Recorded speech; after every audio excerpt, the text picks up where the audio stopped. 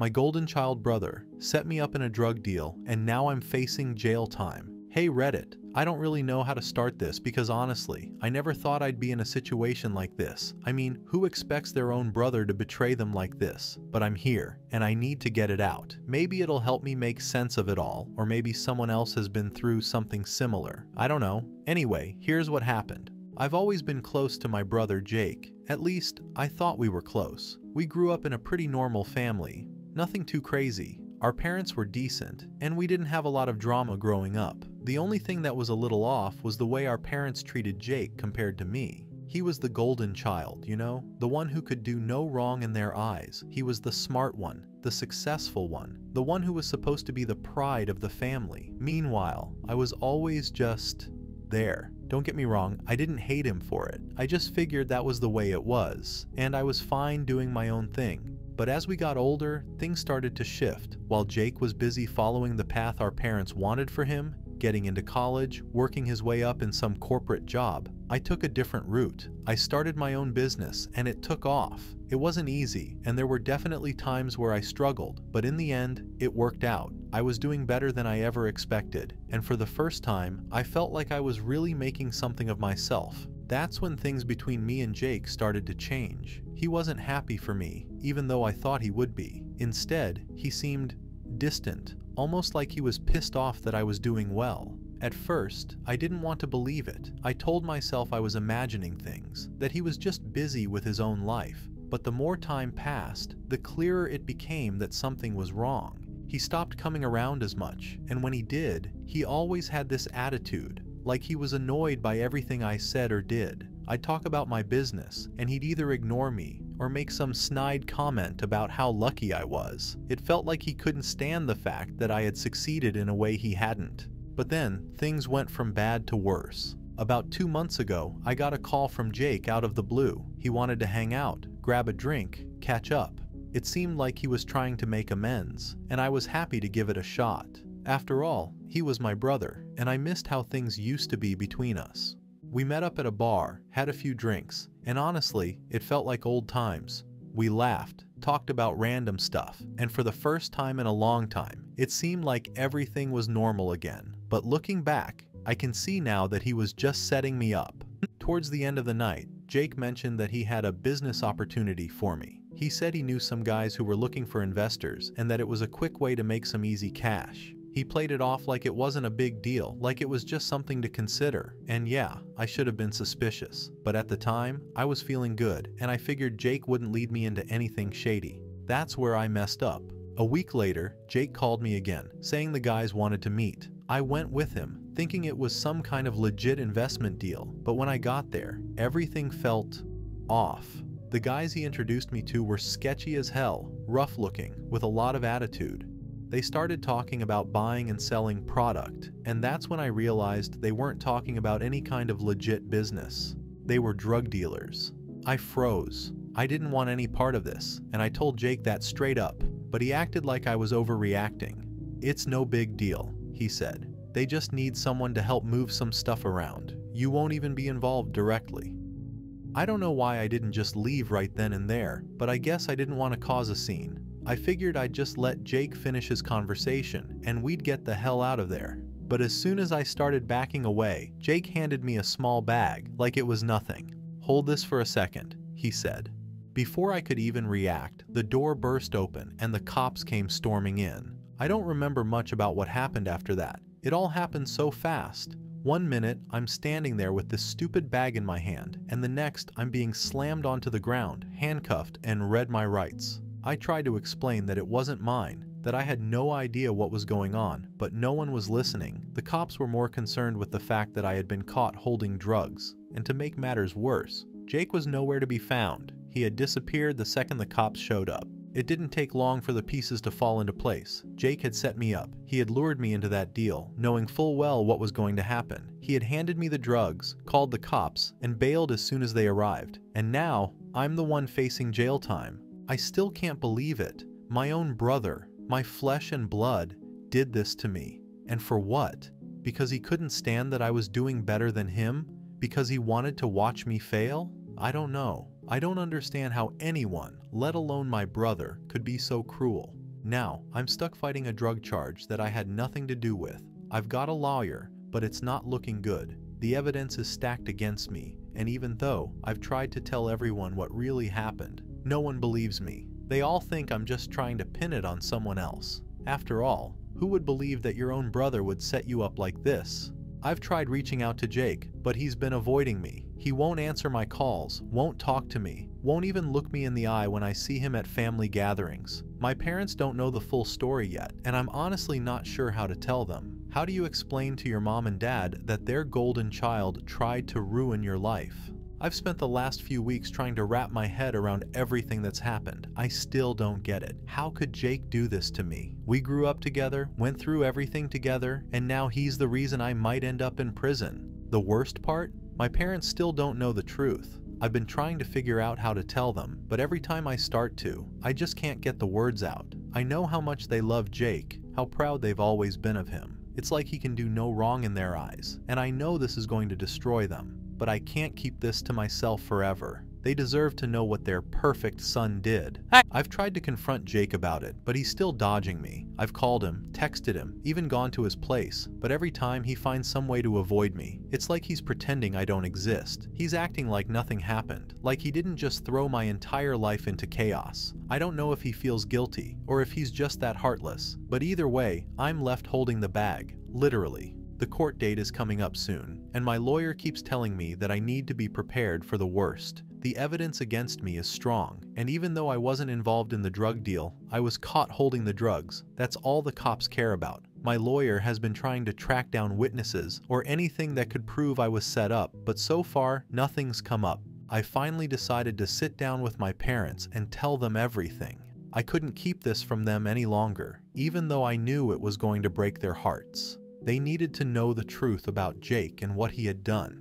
When I told them, the room went dead silent. My mom just stared at me, like she couldn't process what I was saying. My dad, on the other hand, got angry. Not at Jake. No, of course not. He was mad at me.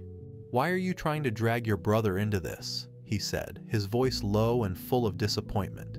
You've never been one to take responsibility, have you? Always looking for someone else to blame. I couldn't believe what I was hearing. My own father thought I was lying. I had just told them that Jake set me up, that he had handed me the drugs and called the cops, and my dad's response was to accuse me of making it up. Dad, I swear I'm telling the truth, I said, my voice shaking. Jake set me up. He's the one who. Stop, my mom interrupted, tears in her eyes. Just stop. I can't listen to this.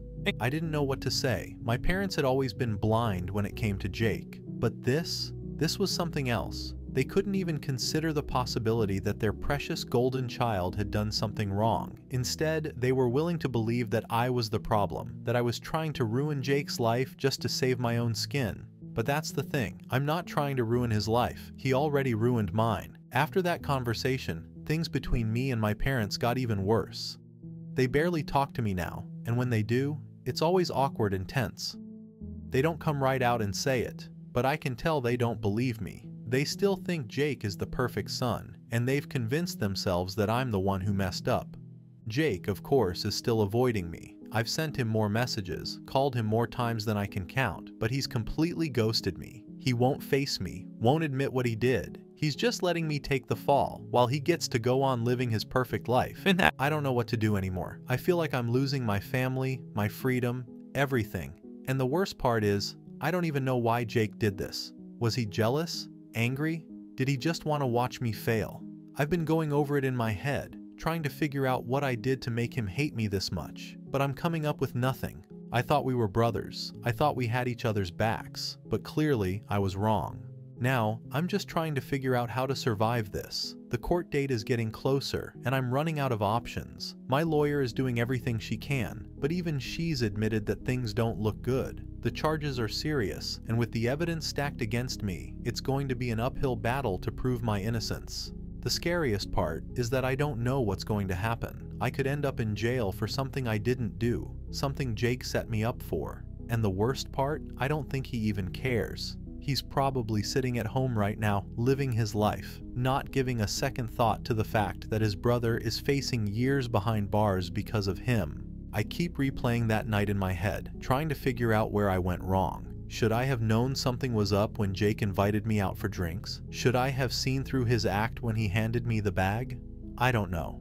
I keep thinking about all the little signs I missed, and it's driving me crazy. I don't know how I didn't see it coming, but I guess that's the thing about betrayal. It hits you when you least expect it, and it always comes from the people you thought you could trust the most. So, after that disaster of a conversation with my parents, I realized something.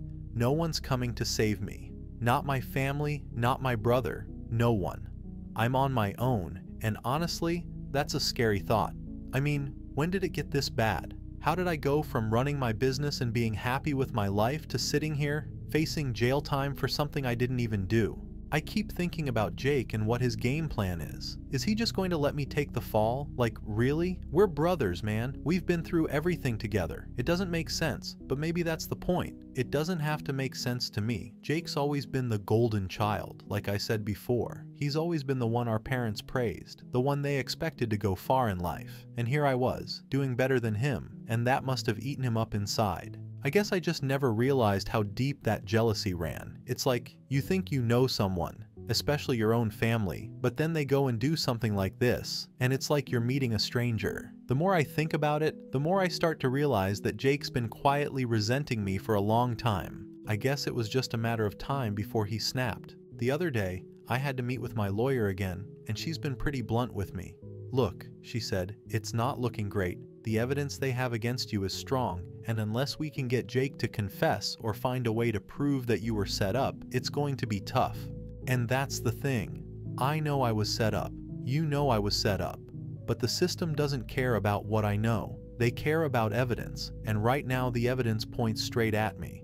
So I asked my lawyer what my options were, and she mentioned something I wasn't expecting plea deals. I didn't even think that was something I'd have to consider, but she said it's an option if I don't want to risk a full trial. She's saying I could take a deal, plead guilty to a lesser charge, and maybe avoid jail time altogether, or at least reduce it.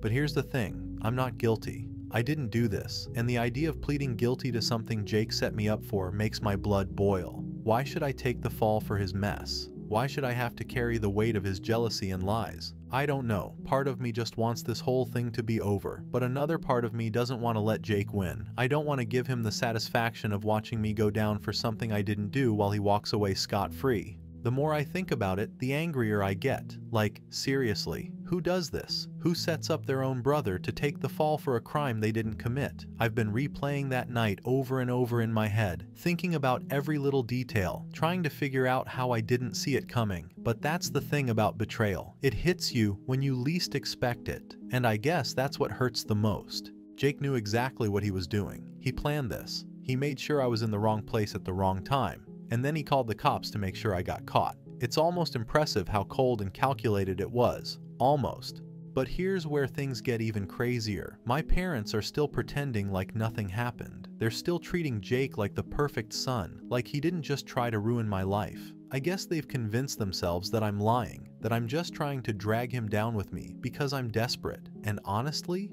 that hurts more than anything. I don't know what I expected. Maybe I thought they'd believe me because I'm their son and they're supposed to trust me. But no, they've chosen Jake's side, and now I'm just the problem child, the one who's messing up the family dynamic. I've been staying away from my family for the most part. I can't stand to be around them right now, and it's not like they've made much of an effort to reach out to me either. I think they're hoping this will all blow over, that somehow everything will go back to normal, but there's no going back from this, not for me anyway. My lawyer said we still have a few more weeks before the court date, so I'm trying to figure out what my next move is. I could try to get Jake to confess, but honestly, I don't see that happening. He's gone radio silent on me, and I doubt he's going to suddenly grow a conscience and admit what he did. So, I'm stuck. Do I take the plea deal and try to move on with my life? Or do I fight this and risk going to jail for something I didn't do? It's not exactly an easy decision, and the more I think about it, the more I feel like I'm trapped in a nightmare that I can't wake up from. I guess the only silver lining in all of this is that I've started to see things a little clearer. I've realized that family isn't always what you think it is. Sometimes, the people you trust the most are the ones who will turn on you when you least expect it. And as much as that sucks, it's the reality I'm living in now. Jake may have been the golden child growing up, but now he's just a coward. He couldn't handle the fact that I was doing better than him, so he took the easy way out and set me up. But no matter what happens, I'm not going to let him win. I'm going to figure out a way to fight this, even if it's the hardest thing I've ever done. Because at the end of the day, I'm not the one who should be paying for Jake's mistakes. He is. Alright, so, after sitting with everything for a while, I decided there was no way I was taking the plea deal. I mean, why should I admit to something I didn't do? Why should I let Jake get away with this? It just didn't sit right with me. The whole thing makes me feel like I'm stuck in a bad dream that I can't escape, but if I roll over now, I'll be stuck living with that guilt forever. I had another meeting with my lawyer, and we talked about what our game plan was for the trial. She said we'd need to poke holes in the prosecution's case, show that there's no way I could have been involved in the deal. She also said we need to find a way to link this back to Jake but without any hard evidence or witnesses, it's gonna be tough. Of course, I already knew that. Nothing about this situation has been easy. Meanwhile, my parents, they're still treating Jake like he's a saint. It's like they refuse to see what's right in front of them. They're pretending like this whole thing is just one big misunderstanding, like I somehow got myself into this mess, and Jake is completely innocent. The favoritism has always been there, but it's never been this obvious. It's infuriating. They won't even hear me out anymore. Every time I try to bring it up, they change the subject or tell me I'm overreacting. It's like they've already made up their minds that I'm the problem, and there's no changing it. Jake, though, he's still silent. Not a word from him. No apologies, no explanations, nothing. I don't know if he's hiding because he feels guilty or if he's just happy to watch me go down while he stays clean. Honestly, I'm starting to think he doesn't even care. I wouldn't be surprised at this point. The worst part is that I'm not just dealing with legal trouble. This whole mess has made everything else in my life fall apart too. My business has taken a hit because I've had to step away to deal with this, and my personal relationships are strained. Everyone knows something's going on, but no one really knows the full story, and I don't exactly feel like explaining that my own brother is the reason I might go to jail. It's embarrassing, honestly. How do you even tell people something like that? How do you explain that the person who's supposed to have your back is the one who's stabbing you in it? I've been thinking a lot about how things used to be, back when Jake and I were actually close. We used to do everything together. As kids, we were inseparable. I looked up to him. You know, he was the big brother who always had my back. But somewhere along the way, things changed. Maybe it was when I started doing well in my business, or maybe it was even before that, and I just didn't notice. But now, it's like we're strangers. Worse than strangers, actually. Enemies. I never thought it would come to this. I mean, who expects their own brother to set them up? But here we are, and now I have to figure out how to fight my way out of this mess. The trial is coming up soon, and I'm not gonna lie, I'm scared. My lawyer is doing her best, but the fact is, the evidence against me is strong, and unless we can prove Jake's involvement, I'm in trouble.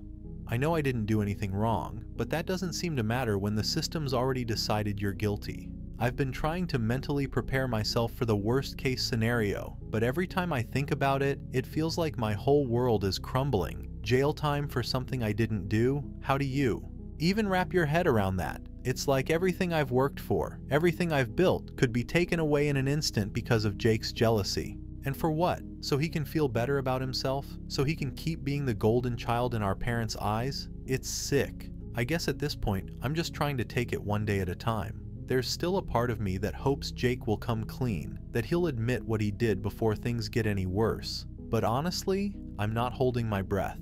I don't think he has it in him. He's too far gone, too focused on saving himself to care about what happens to me. So yeah, that's where I'm at. I'm angry, I'm confused, and I feel completely betrayed by the one person I thought I could trust. But more than anything, I'm just trying to figure out how to survive this. I don't know what's going to happen when I walk into that courtroom, but I do know one thing. I'm not going down without a fight. Jake may have set me up, but I'm not going to let him win. Not if I can help it.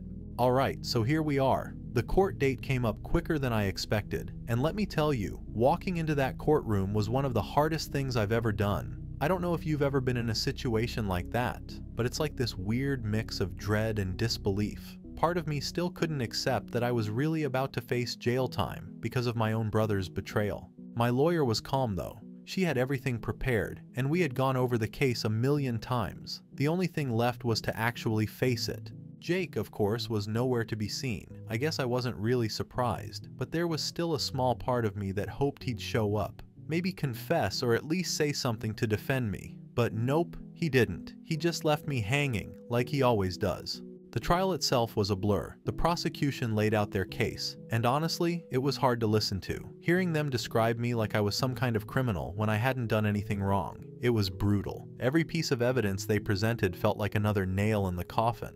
My lawyer fought back, of course. She did everything she could to cast doubt on the charges and show that I had no involvement in the drug deal. She even tried to hint that Jake might have been involved, but without any solid proof. It didn't really land. It was all just, he said, she said, and in a court of law, that's not enough. I kept looking around the courtroom, hoping maybe someone, anyone, would speak up for me, but my parents were sitting there in silence. They didn't say a word. They didn't even look at me half the time. I guess they had already made up their minds that I was guilty. It was like a punch to the gut. I mean, I knew they were still stuck on the whole Jake is the perfect son thing, but I thought at least when push came to shove, they'd be there for me. But no. They just sat there, watching everything fall apart, and did nothing. Then came the verdict. My heart was pounding so hard I could barely hear what the judge was saying at first, but when I finally caught the words, it felt like the floor dropped out from under me.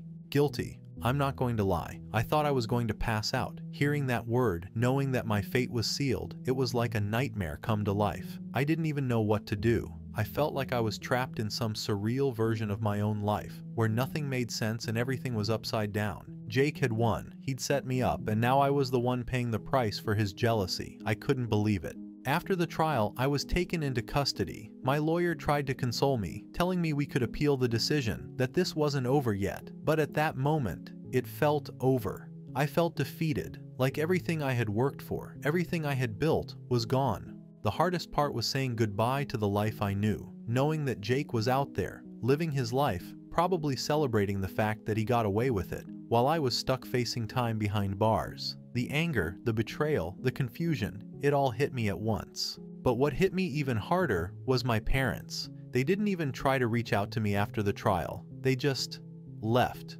like I didn't even exist anymore. I don't know if they'll ever come around, but at this point, I'm done hoping for it. I can't keep waiting for people who don't care. Now, I'm sitting here, waiting for the next chapter of this nightmare to unfold. I'm angry, I'm hurt, and I'm still trying to figure out how the hell this happened. How did I end up here, facing jail time for something I didn't do? And how could Jake do this to me? How could my own brother, my own flesh and blood, throw me under the bus like this?